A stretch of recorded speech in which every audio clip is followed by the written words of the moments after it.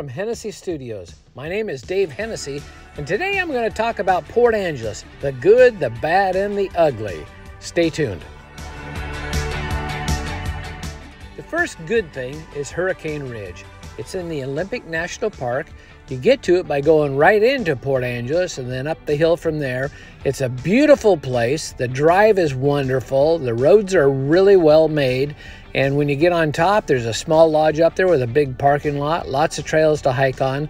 During the winter, they have winter sports up there. During the summer, lots of hiking.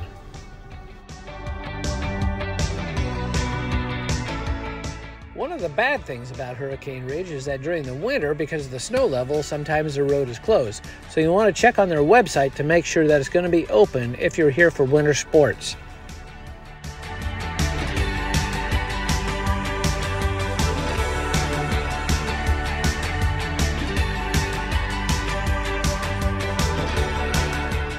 Another good thing is the weather. It's usually kind of mild here.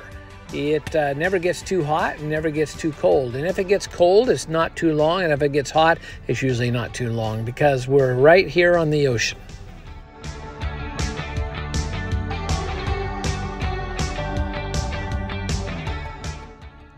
Now for the bad. The bad is it rains a lot here. We are in a rainforest. We are in the Pacific Northwest.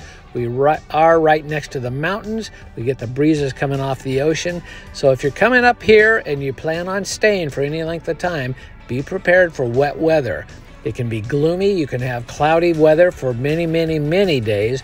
And also it can rain for many days.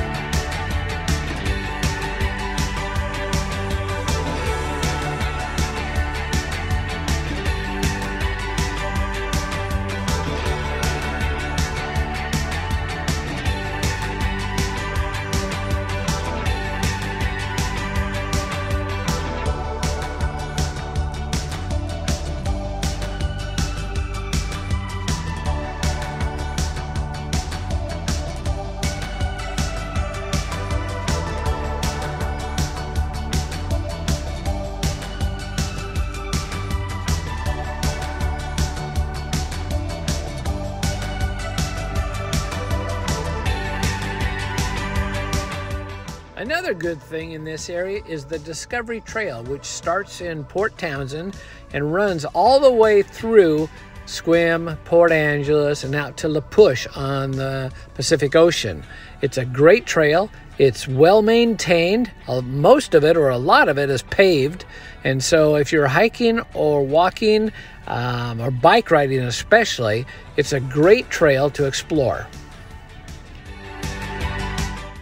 Part of the Discovery Trail is very easy to get to. You drive on Highway 101 just west of Port Angeles, a couple miles. You'll see a gas station and then a road that goes to the right that says Highway 112. You take that, go down about three quarters of a mile, and there's a road to the right. And if you drive down that road, it'll take you to it.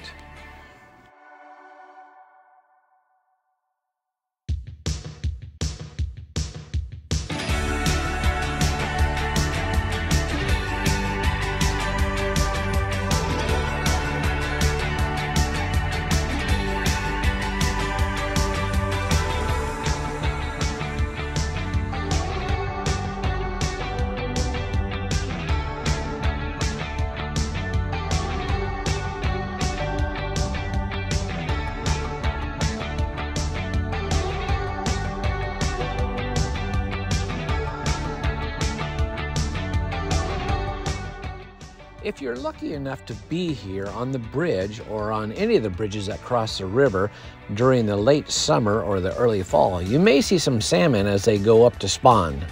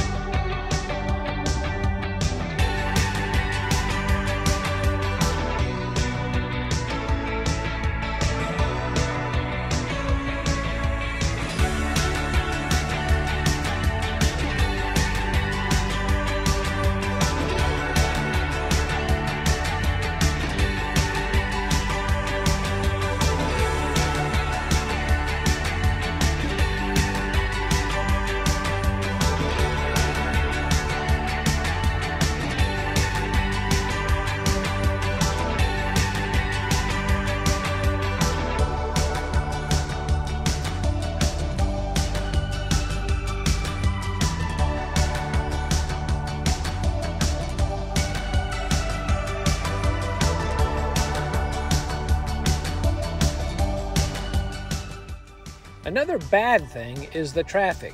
Since there's only one main road out here, Highway 101, or Highway 1 as you call it, there's a lot of traffic because there's a lot of people coming out here, and especially during the summer months, you'll get RVs and you'll get the big semi trucks coming out here, the big wood chip trucks.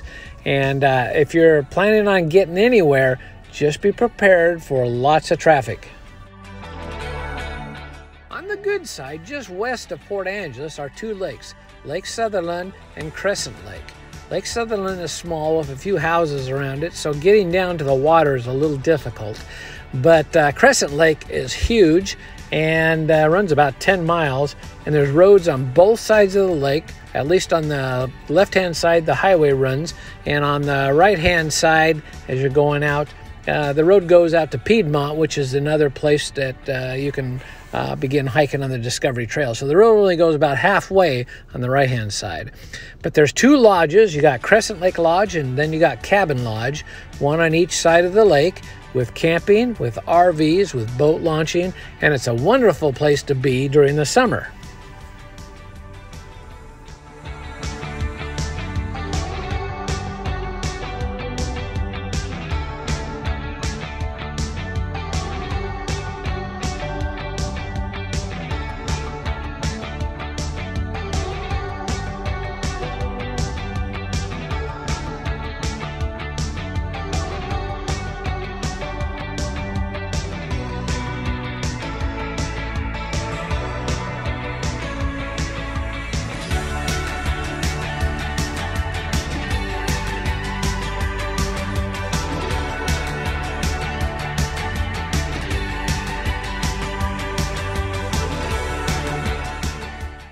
Good thing in this area is the Sol Duc Hot Springs, which is located uh, on the western side of Crescent Lake.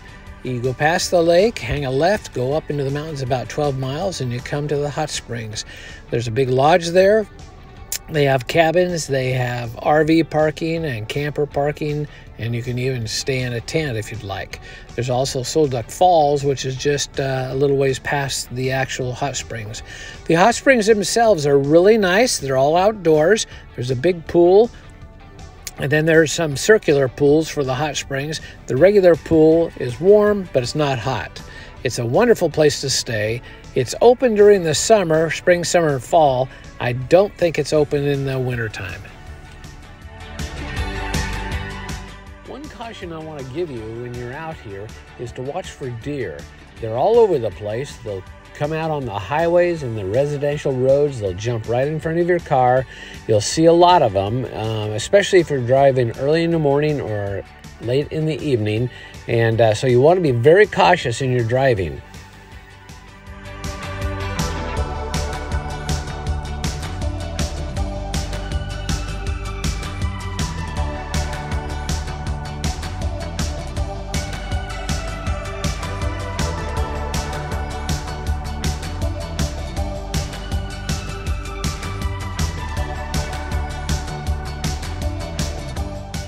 There's a few activities out here that draw a lot of people, especially in the summer and fall. The one in the summer is the Lavender Festival. There's a lot of lavender farms out here, so uh, we get a lot of people coming out for that. During the fall, usually at the end of September, beginning of October, we have the Crab Festival, which also brings in a lot of people. That happens in Port Angeles.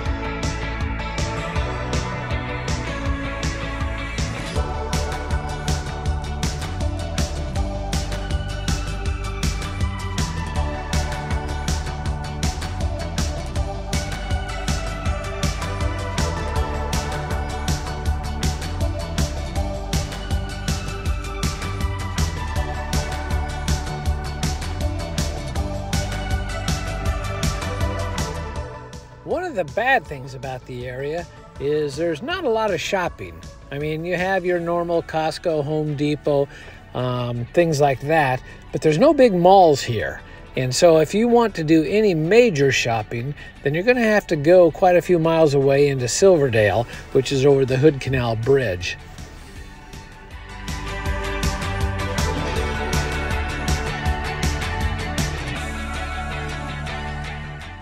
Thanks for watching. See you next time.